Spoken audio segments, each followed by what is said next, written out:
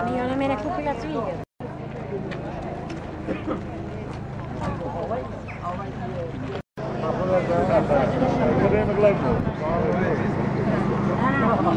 Čura, nećete pustiti takim patikama? Pa, pa... Kale,